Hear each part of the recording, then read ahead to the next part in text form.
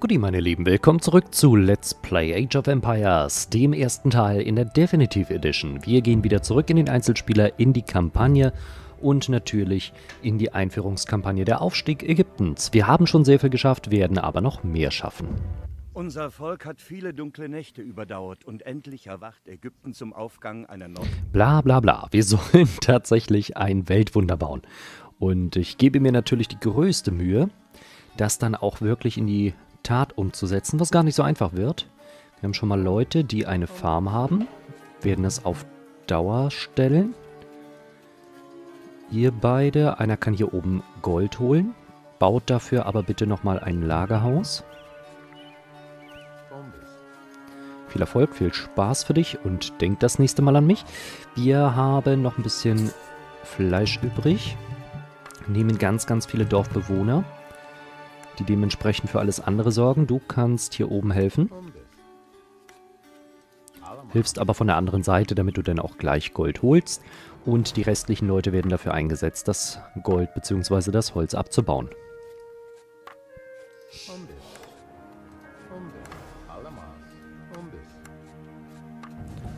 So, der nächste ist da. Herzlich willkommen. Du kannst ebenfalls Holz fällen. Viel Erfolg.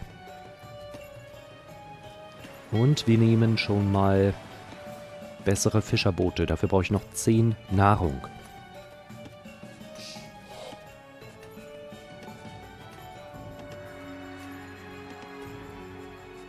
Und 100 Holz. Das müsste relativ schnell klappen. Du kannst schon mal rübergehen und weiter Holz sammeln. So, damit kriegen wir die Fischkutter. Wunderbar. Du bist ein Handelsboot. Du kannst schon mal durch die Gegend ziehen. Gegebenenfalls findest du irgendwo einen Hafen. Erbaue ein Weltwunder. Und wofür ist das hier? Um die Steine zu bekommen? Das kann durchaus sein. Guck mal, da ist ein Handelsboot. Wo kommt das her? Und warum ist es bei mir? Ihr könnt auch ein bisschen Holz sammeln.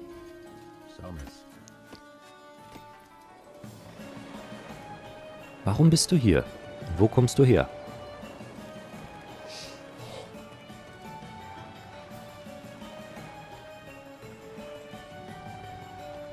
wo könnte der andere Hafen sein?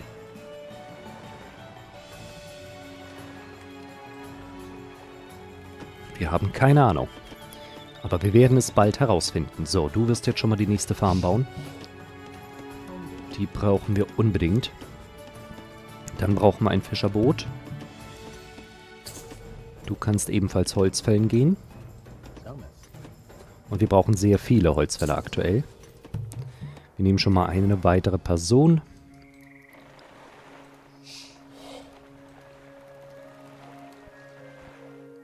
Schon wieder eine erstellt. Es geht aber fix hier heute.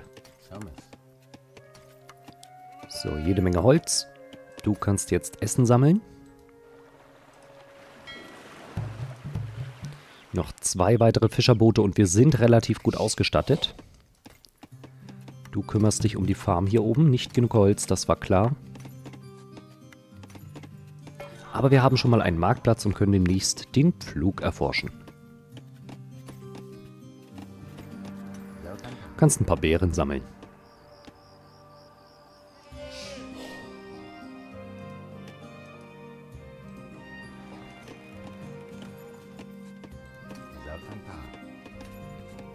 So, dann bekommen wir schon mal weitere Gegenstände. Das ist gut. Und wenn wir erstmal ein bisschen Gold haben, können wir auch die Forschung ein bisschen voranbringen. Das ist noch besser. Unter anderem die Metallverarbeitung, die ist wichtig. Wir haben den Pflug, das Handwerk, müssen wir erforschen, das Rad, damit sich unsere Leute schneller bewegen. Das sind alles Dinge, die wir uns gleich zu eigen machen. Weitere Dorfbewohner kommen nicht. Wir müssen erst Gold sammeln, um in die Eisenzeit voranzuschreiten. Währenddessen fahren wir noch ein bisschen mit dem Boot durch die Gegend, erkunden die Gegend, um herauszufinden, wo sich die Feinde und vielleicht sogar ein feindlicher Hafen befinden.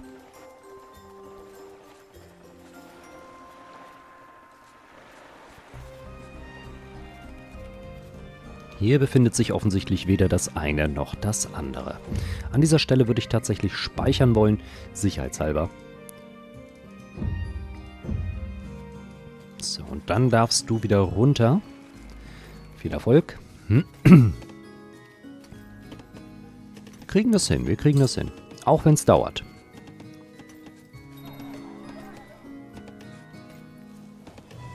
Dann entwickeln wir jetzt schon mal das Handwerk. Ein weiterer Dorfbewohner wird mir jetzt die restlichen Gebäude bauen, die uns noch fehlen. Ihr könnt demnächst auch weitere Farmen gründen. Und wenn wir den Flug erforscht haben, dann geht es sogar noch schneller aufwärts.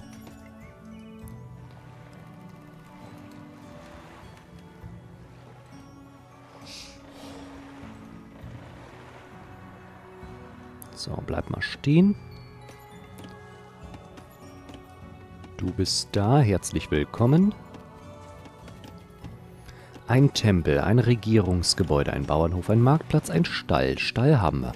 Eine Bogenschießanlage und eine Kaserne sehe ich hier nicht bei uns. Das heißt, ich baue auf jeden Fall eine.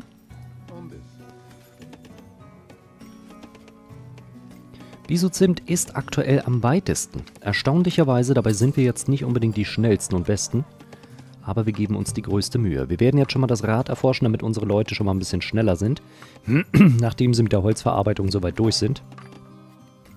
Und dann können wir auch die Türme zu Abwehrtürmen machen, damit diese ein bisschen mehr durchhalten.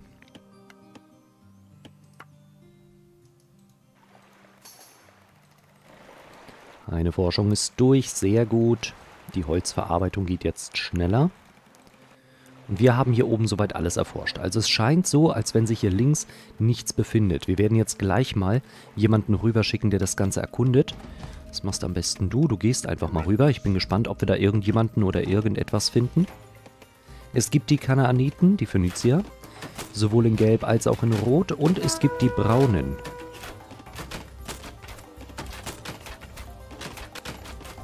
Ja, und ich bin mir relativ sicher, dass wir die Türme aufstufen sollten. Einer der Bogenschützen ist tot. Der zweite hat überlebt, dank des Turms.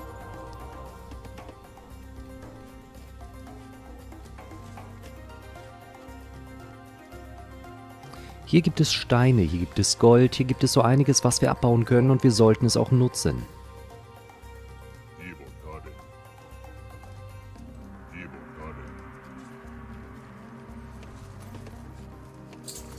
Das heißt, zwei weitere Dorfbewohner können nicht schaden. Wir werden auch noch weitere Häuser bauen, damit noch mehr Leute bei uns leben können. Und sie leben dann ja nicht unbedingt in den Häusern, aber wir haben auf jeden Fall mehr Platz.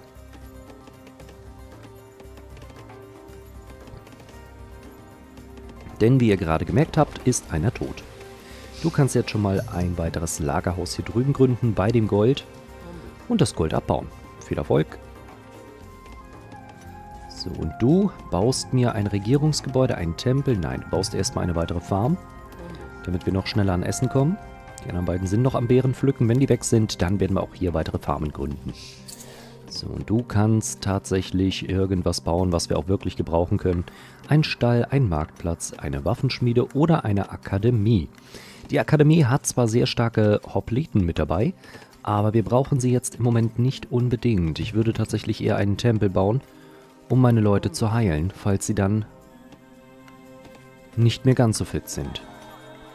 Gucken wir mal, was der Abwehrturm benötigt. Ich denke mal Stein. Ein Abwehrturm. Da. 50 Steine, 120 Fleisch. Das nehme ich mit rein. Und den besseren Pflug nehmen wir ebenfalls. Dann werden wir uns den verbesserten Bögen widmen. In der Hoffnung, dass alle, das heißt auch der Turm, dann natürlich noch ein bisschen an Kampfkraft dazu gewinnt.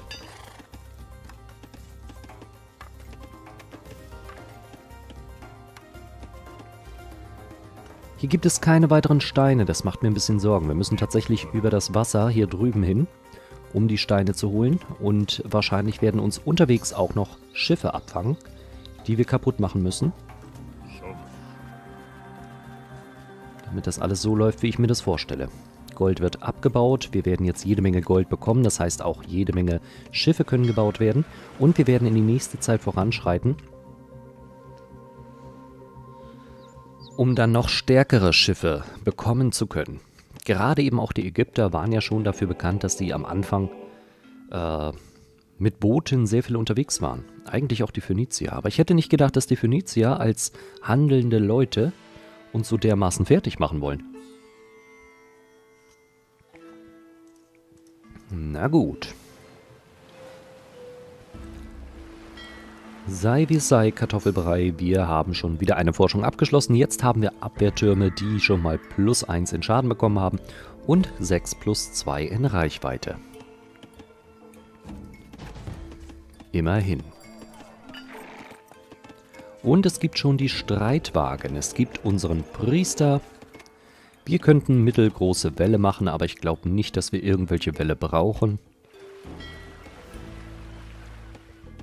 Wir sammeln jetzt erstmal so lange Gold und Fleisch, bis wir in die nächste Zeit, die Eisenzeit, voranschreiten können. Warum machst du nichts?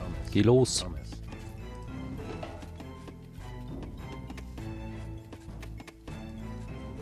Die Bären sind bald durch. Das freut mich, dann können wir endlich die weiteren Farmen gründen. Wieder ist eine Forschung abgeschlossen. Wir sind von der Forschung her sehr weit. Weiter noch als diejenigen, die zu uns kommen. Ihr habt es gerade gesehen, die hat noch ein kleines Boot. Wir können mittlerweile schon Kriegsgaleeren haben.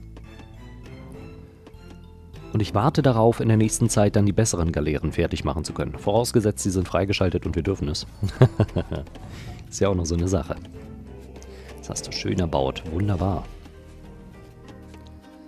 Ein Regierungsgebäude ist auch nicht verkehrt. Manchmal hat das Regierungsgebäude doch Forschungen und äh, Dinge, die wir tatsächlich auch gebrauchen können. Gerade auch die sind dann immer mit Gold aufzuwerten. Gold und Fleisch gehen dort massenweise drauf. Am liebsten würde ich die anderen Forschungen schon machen, aber ich brauche das Gold, ich brauche das Fleisch. Sonst haben wir da keine großartige Chance. Was ich sein lasse, sind die Waffenschmieden. So gern ich Katapulte und Ballisten auch habe, aber Katapulte sind mir einfach zu langsam. Und Ballisten, ja, die sind einfach zu zerbrechlich. Die kann man wirklich nur im Hintergrund einsetzen, während Bogenschützen von vorne schießen. Ansonsten sind die nach zwei, drei Schlägen kaputt. Die Akademie ist auch schön, aber die Hopliten sind sehr langsam und die muss man auch immer erstmal an Ort und Stelle bringen. Im Moment sind wir, dadurch, dass wir auf einer Insel sind, mit Pfeil und Bogen relativ sicher, weil wir dann die Leute und die Boote beschießen können. Währenddessen wird weiter Gold abgebaut. Ich hoffe, dass das Gold hier oben noch einigermaßen hält. Ach, guck mal, nee, stimmt. Der hat das Gold hier oben abgebaut, deswegen macht er auch nichts mehr. Dann gehen wir jetzt hier rüber, lassen ihn ebenfalls Gold abbauen und werden nachher noch den einen oder anderen nehmen, der gerade Holz holt, um Steine abzubauen. Denn Steine werden wichtig sein.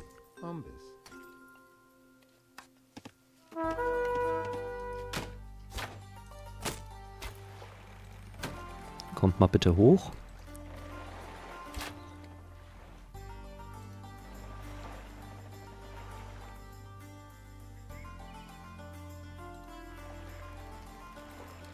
Hier könnt ihr weiter fischen. Da haben wir keine Probleme. So ist gut. Der wird jetzt erstmal beschossen. Vom Turm. Der Turm weiß, was er tut. Das Boot nicht.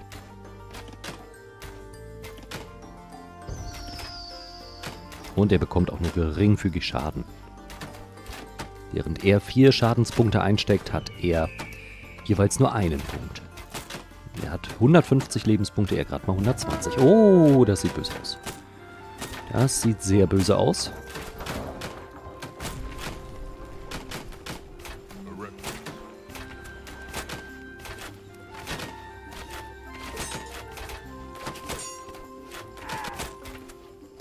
Das war zu erwarten. Das Katapult schießt nicht auf naheliegende Leute.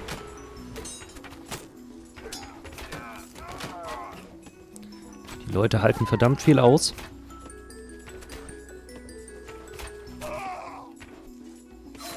So ist gut. Also wir sind die Roten losgeworden, müssen uns aber tatsächlich wieder um Verteidigung kümmern. Das heißt, wir gehen jetzt erstmal in die nächste Zeit voran, können jetzt noch gucken, was wir übrig haben und das nutzen, um neue Leute auszubilden bzw. zu rekrutieren. Drüben sind noch Leute, naja. Du sollst kein Holz fällen, du sollst Steine holen. Gut, wir schreiten in die Eisenzeit voran. Das ist schon mal ganz praktisch. Deswegen war hier eben auch ein Boot, das geschossen hat. Grün? Ach nee, das ist gelb.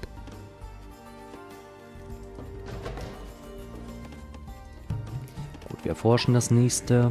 Architektur, Schrift, entwickeln, gemeinsam erkunden mit Verbündeten.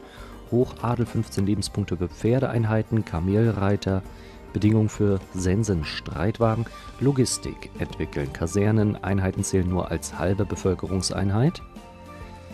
Klingt auch nicht schlecht. Wir brauchen auf jeden Fall mehr Verteidigung für alle. Wir forschen erstmal das hier. Die Forschungen laufen durch. Also wir haben gerade drei Forschungen Bin gespannt, wie es noch weitergeht. Eine Forschung ist durch. Wir haben schon mal unsere verbesserten Bogenschützen, können das Ganze noch weiter verbessern, um Kompositbogen zu bekommen. Ist nochmal ein bisschen stärker.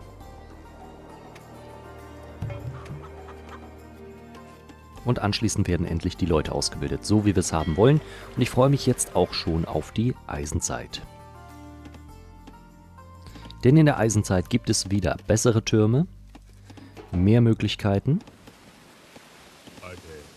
Muss jetzt mal leider mit runterkommen. Verbesserter Bogenschütze. Einfacher, verbesserter. Und wir sind gerade dabei, dich zum Kompositbogenschützen zu machen. Das heißt, du wirst wieder stärker.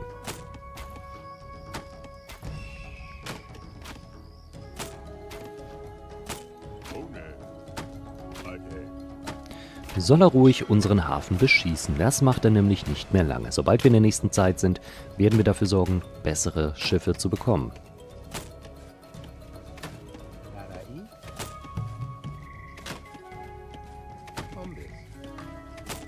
So, nur noch einer baut die Beeren ab. Und wir sind in der nächsten Zeit. Herzlichen Glückwunsch. Jetzt kommen wir zu Triremen. Triremen sind, ja, ich würde sagen, mitunter die stärksten Schiffe. Du wirst jetzt erstmal weitere Häuser bauen, dass wir auch wirklich noch ein paar Leute unterbringen können bei uns.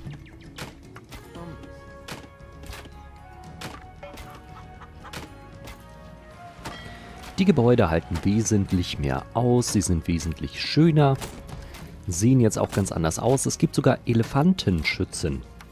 Die halten sehr viel aus, haben zwar nicht ganz so viel Schaden, aber die Verteidigung ist enorm. Ballistik entwickelt. Türme und Fernkampfeinheiten besitzen eine verbesserte Genauigkeit gegenüber beweglichen Zielen, Bedingung für Geschützturm. Außerdem Aristokratie. Akademieeinheiten bewegen sich 25% schneller. Alchemie. Erhöhter Schaden durch Projektile von Fernkampfeinheiten und Feuergaleeren. Zusätzlich Technik. Zwei Reichweite für Belagerungswaffen, Belagerungsschiff, Bedingung für schweres Kriegsschiff. Ich bin jetzt erstmal froh, wenn wir die Triremen bekommen. Du wirst jetzt ebenfalls noch eine Farm gründen, mein Lieber. Dann müssten wir eigentlich genügend Essen zusammenkriegen. Und wir bauen einen Wachturm. Dafür brauchen wir die Steine. Wir werden auch nachher noch Steine von unten holen. Während hier die Verteidigung immer weiter ausgebaut wird.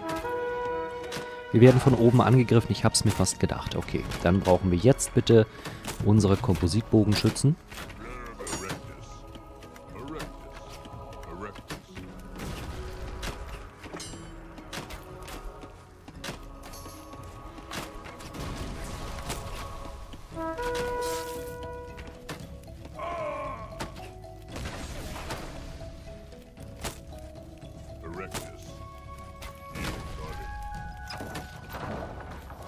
Finde ich jetzt aber nicht so witzig.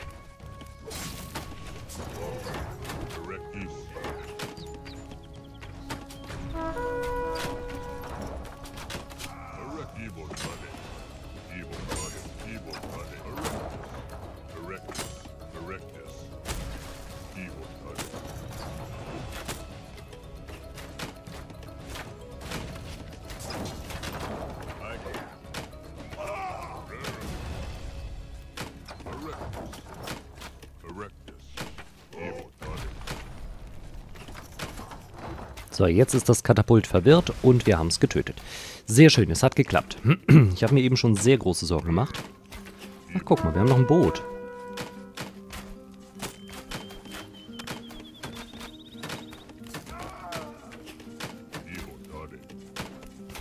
Komm mal mit zum Turm. Wer das, den neuen Turm schon mal erforschen? Sicher, sicher.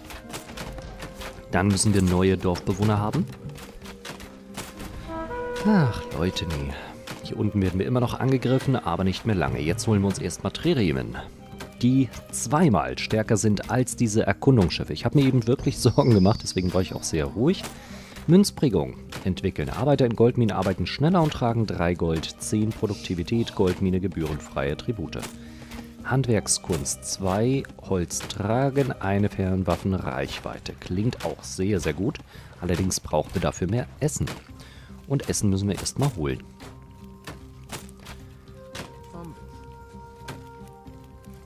Du wirst hier erstmal reparieren, bitte. Du wirst das Ding reparieren.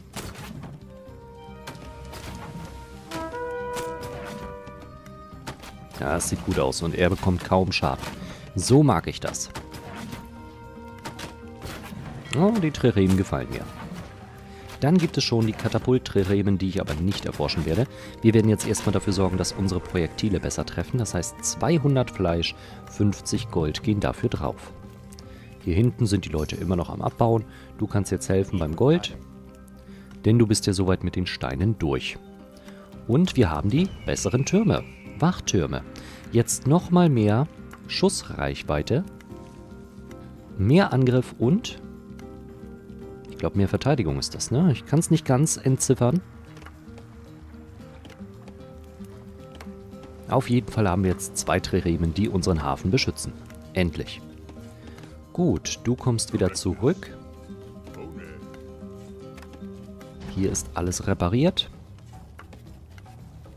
Wir können das Weltwunder bauen, das werden wir später machen. Jetzt werden wir uns anderen Dingen widmen. Ein Regierungsgebäude, ein Bauernhof. Du wirst jetzt einen Bauernhof bauen.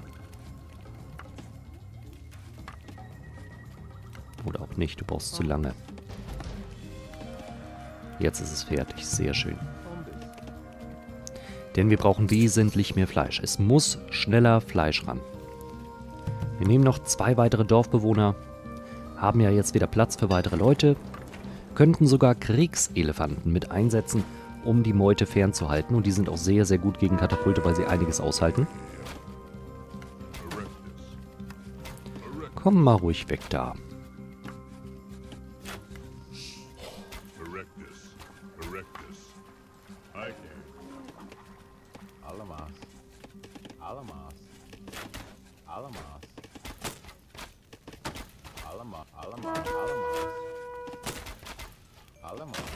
Gut. Macht sie fertig.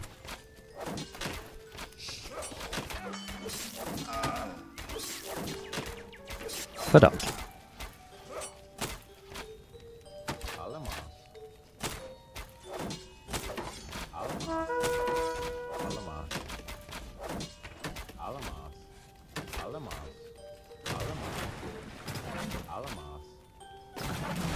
Genau, hau ab, hau ab.